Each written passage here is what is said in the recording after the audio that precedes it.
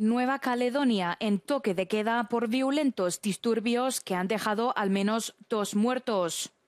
Más de 130 personas han sido detenidas en las islas francesas del Pacífico tras los enfrentamientos que empezaron tras el anuncio de un plan para cambiar la Constitución. El cambio significaría que los franceses que han vivido al menos 10 años en las islas podrían votar en las elecciones, algo que los indígenas ven como una forma de disminuir su poder.